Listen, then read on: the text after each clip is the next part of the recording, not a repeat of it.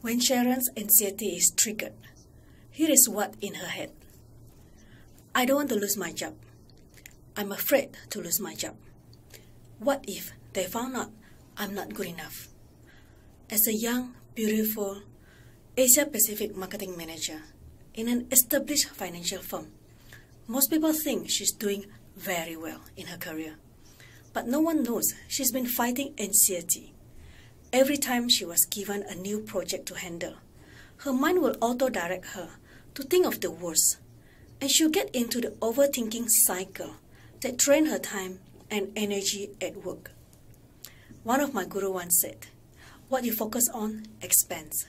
So if you focus on what could go wrong in your work or personal life, you'll find everything that could go wrong. The good news is, the same principle works both ways.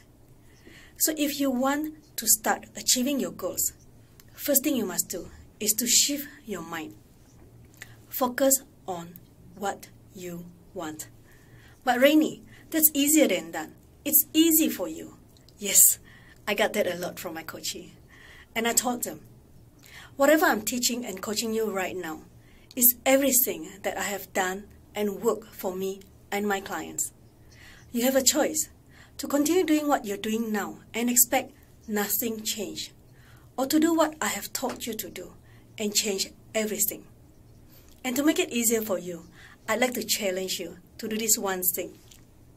When you notice your anxiety strike, immediately stop yourself by doing something that is totally out of the norm. I repeat, do something that is totally out of the norm.